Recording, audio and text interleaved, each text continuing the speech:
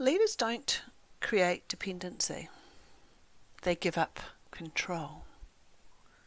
Control. Let's break that next fallacy.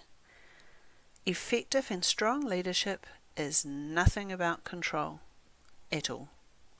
If control is one of your drivers as a leader, then there is some deep reflection to be had.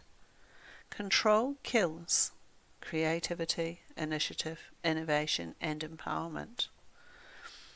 Those leaders who talk about control often talk about high expectations, wanting excellence, and tell stories of their staff's incompetence, failings, and lack of skills. And these descriptions become the cover, the reasoning for the leader to then establish themselves as the micromanager. Micromanaging kills initiative, thinking, ownership, risk taking, and growth. These leaders are sending messages to their team that their leader doesn't believe they have the skill base, that they are incompetent in some way, and in turn, the team become conditioned to doing nothing until their leader tells them. They do nothing until they are scaffolded into the last millimetre. They wait. And as a result, they appear lacking in skill and initiative, where in fact they are simply working in a way that they have been led to.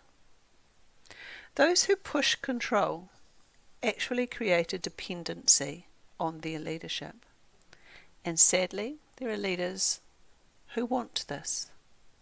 They want to make all the decisions and actually push to develop compliant and quiet teams. In fact, these leaders often push to break down teams, to push people to work as individuals. These leaders will talk about teams, but actually push to work with the individual. This desire for control impacts on how the professional conduct and culture of your workplace and on your team will develop.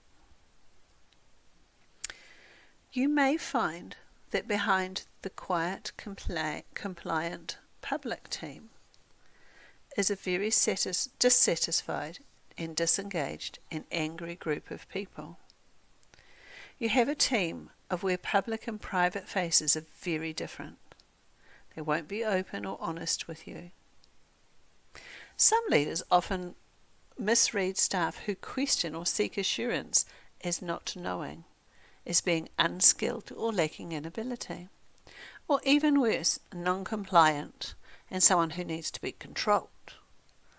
After a training, these leaders feel like they have they have to review, to reteach, to rewrite, and then go into the team's workspace to make it happen for them. This kills your team. Too much scaffolding can actually inhibit the team's ability to grow, to learn, their ability to work to their best. Similarly, when you hold the hands of your team and you are overly emotional, sharing their negative thinking, see things as a problem, and moan bond. They believe the work is too much, too hard, blame others, and create a work environment that when something new is introduced, a change is made. It is seen as more work too hard, and the moan bonding begins. Yes, we need to understand and we need to listen, but leaders set the direction and build the capacity. The way your team works is a direct reflection on your leadership. Go back to our discussion earlier about delegation and look at those four levels of learning. How do you develop your people? How do you lead your people? Do you give them choice and ownership? Are they allowed to create, to make mistakes? Can they make decisions? Will they have a go? Are you their critic or their support and backstop? Do your team have the opportunity to learn from each other or are they reliant on you? If they are focused on you, then this is a concern for your leadership. Our teams want a sense of autonomy and some sense of control over their work. The control should actually be with your team and not you. They want to learn and to feel supported, but they also want to know you have their back and you're the biggest supporter. They want your direction and your encouragement. They want to be treated like the skilled people that they are.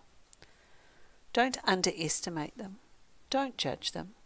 Give them new thinking and say, just do it. Have a go. Work it out. See where it goes.